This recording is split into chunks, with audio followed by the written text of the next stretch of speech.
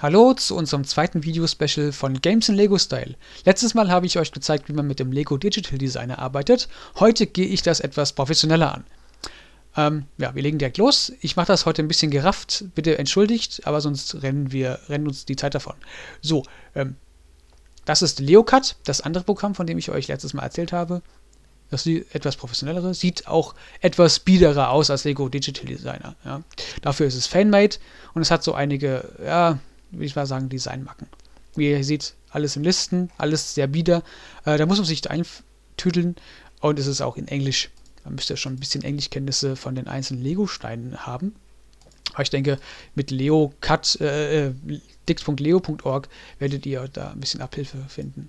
So, das Platzieren der Steine geht äh, wie im Lego Digital Designer. Man wählt hier den einzelnen Lego-Stein aus. Ja, ihr seht ganz, ganz viele. Es sind noch mehr als im Lego Digital Designer und zieht sie in, die, äh, in den Editor hier. Was ich heute mit euch machen möchte, ist eine, ja, so eine, ähm, so so eine Solarlampe, wie man sie aus dem Garten her kennt, so eine Solarleuchte. Oder so eine, so eine Vorgartenleuchte. So, wie ihr seht, ich fummel hier schon mit diesen äh, 3D-Fühlern äh, hier rum. Die richten sich im Gegensatz zum Lego Digital Designer nicht automatisch aneinander an. Da muss man ein bisschen rumfummeln. Das ist zum Beispiel eine Designschwäche. Ähm, wenn man zum Beispiel die, die Lego-Steine drehen möchte, wird es noch komplizierter, aber das lasse ich jetzt erstmal. Sonst ähm, wird es zu kompliziert. Ich möchte euch ja nur kleine Kleinigkeiten zeigen, die euch dann motivieren sollen, ähm, auch mal zu äh, basteln. So, wie ihr seht, ja, die hat, der hat gerade so gestanden. Ja, die richtet sich nicht an der Höhe aus. Man muss hier mit den Z-Dimensionen äh, ein bisschen arbeiten. Control Paste geht auch wieder. Ja, dann ist das hier rot markiert, das gepastete äh, Teil, und man kann es verschieben. Hier geht allerdings nicht, wie beim Lego Digital Designer, dass man äh, ja, das automatisch an der Hand hält. Das muss man schon selbst auswählen. Da muss man aufpassen. So, ist nämlich eine Plate. Plates sind die flachen Steine. Schon mal ein bisschen Lego-Namenskunde. Ich nehme einen durchsichtigen Orangen, das werde ich euch gleich zeigen, warum. Und ich nehme eine Abdeckung, ein großer Round, ja, ein Dish Inverted, das äh, kennt ihr vielleicht aus so, ja, so Space, ähm, äh, Space äh, Sets von Lego. Und voilà, ihr habt eine wunderschöne Lampe freistehend, aber gut, äh, es soll ja auch erstmal reichen. Ja. Das, was Lego LeoCut auszeichnet, ist, dass man hier die Sachen, hier Export, in ein 3DS-Format ähm, speichern kann. Das heißt, 3DS ist äh, ein ja, Programm, beziehungsweise 3D Studios ist ein 3D-Programm, ein 3D-Render-Programm. Das geht aber auch mit Blender. Das hat nämlich auch denselben Format unterstützt. Ähm, wie das geht, zeige ich euch jetzt. Hier Blender, haha. Ähm, wer mit Blender noch nie gearbeitet hat, das ist ein Freeware-Programm, 3D-Programm. Ähm, ja, leider auch alles in Englisch. Ich habe die deutsche Version nicht. Ich glaube, es gibt auch eine deutsche Version mittlerweile. Ich bin mir aber nicht sicher. Das ist hier das Default-Fenster. Und hier kommt dann dieses 3DS-Modell zum Einsatz. Hier kann man nämlich 3DS-Modelle einfügen. Ja, zunächst hier dieser Default Cube einfach auf Entfernen und dann kommt hier so ein Pop. So. Ähm, 3DS. Dann wähle ich meinen Ordner aus, wo ich das alles hingeplatziert habe. Und hier seht ihr die Lamp 3DS. Die importieren wir geben die Größe des ganzen Gebildes an. Das ist wichtig, sonst wird es vielleicht zu klein. So, und das seht ihr hier, das ganze Zeug, was wir gerade gemacht haben, ist in Blender enthalten. Ja? So wie, wie wir es vorher gemacht haben. Jetzt nehme ich mir, das hier ist übrigens die Lampe. Das ist zum Beispiel, äh, ja, in diesem Fall ist es eine Lampe. Ähm, Licht spielt eine elementare Rolle in Blender, weil dadurch könnt ihr äh, ja, ganz coole Effekte machen. Äh, nicht nur mit Licht, sondern auch die, also die ganze Beleuchtung spielt, hängt damit zusammen.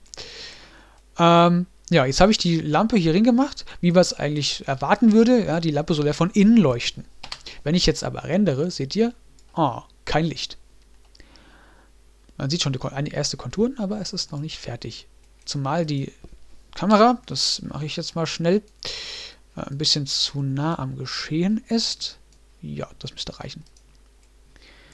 Ähm, das liegt daran, dass ähm, in das äh, Blender ziemlich pingelig ist, was so ähm, Materialoberflächen betrifft. Materialoberflächen sind, kann man hier über die Panel, äh, äh, über das Panel-Menü hier mit diesem runden Kreis anwählen. Hier seht ihr, das ist dann das Material, quasi die Oberfläche des jeweiligen Steins oder Elements, was man im Blender hat.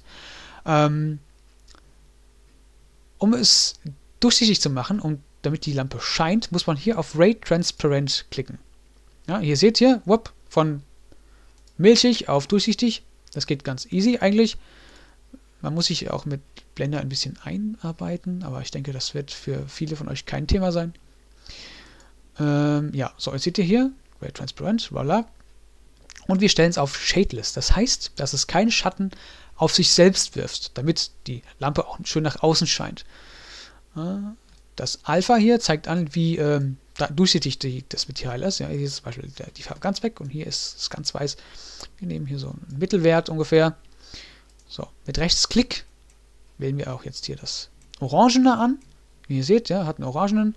Da machen wir dasselbe jetzt. Wir machen Ray Transparenz, stellen diesen EOR hoch. Wie ihr seht, das ändert, verändert sich hier ein bisschen. Ähm, das liegt äh, quasi die Lichtbrechung, kann man so sagen. So. Und wenn man nochmal draufklickt, sieht man, kommt irgendwann auf die Lampe, die ich hier innen drin habe. Ja, also äh, Blender ist nicht so fies, dass es sagt, äh, ich kriege nur das, was außen ist. So, ihr habt die eure Lampe, hier sieht man, hier gibt es vier Schichten, Areal, Hemisphäre, Hemisphäre wäre ein bisschen blöd, das wäre dann jetzt Beispiel, ja, äh, äh, ein Horizont. Das ist dann für generelle Beleuchtung notwendig. Wir schalten den Ray Shadow aus. Erstens, weil es dann zu lange dauern würde zu rendern. Zweitens, weil es äh, Probleme gibt mit Innerbeleuchtung. Ich habe selbst nicht rausgefunden, wie es geht, muss ich ehrlich gestehen. Mit Energy hier gibt ihr an, wie stark die Lampe leuchtet.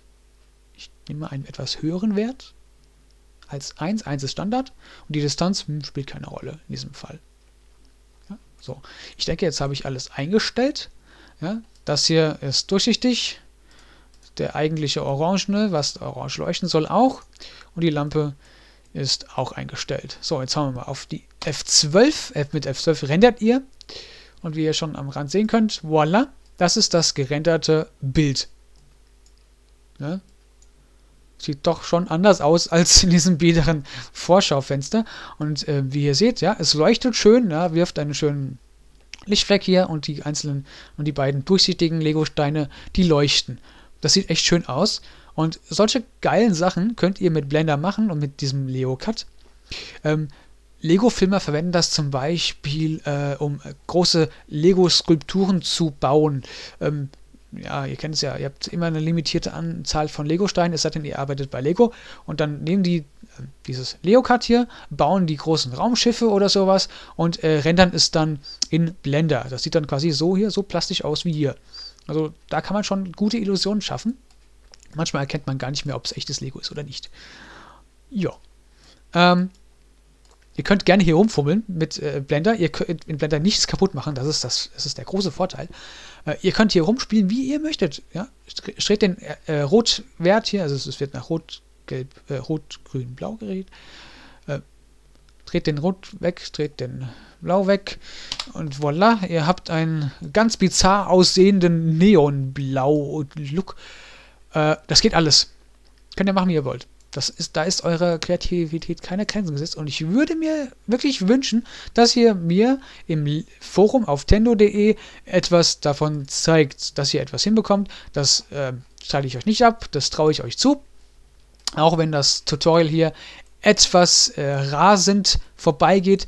Ähm, ja, das liegt einfach an der 10 Minuten YouTube-Sperre. Äh, ich hoffe, mein Tutorial hat euch gefallen und ihr habt äh, eindrucksvoll sehen können, was für geile Sachen man mit Blender und mit äh, dem bestimmten Programm LeoCut anstellen kann.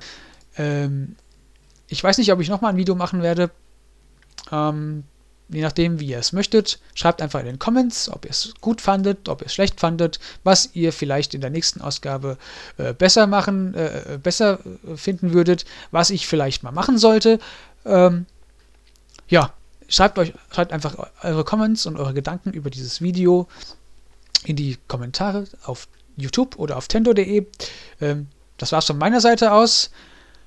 Äh, äh, zurück ins Studio. Bis dann.